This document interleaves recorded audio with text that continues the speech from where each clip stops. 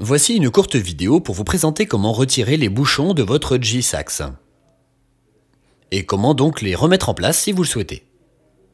Le G-Sax est livré avec des bouchons préinstallés.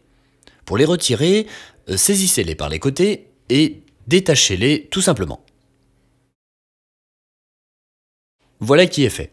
Cela n'a pas d'importance si vous les mélangez, puisque chaque bouchon est numéroté.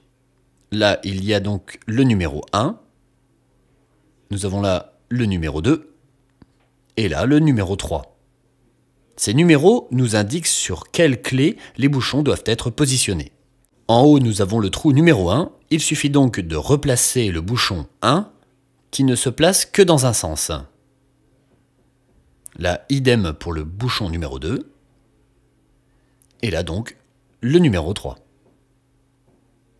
Et voilà, les bouchons du G-Sax sont en place. thank you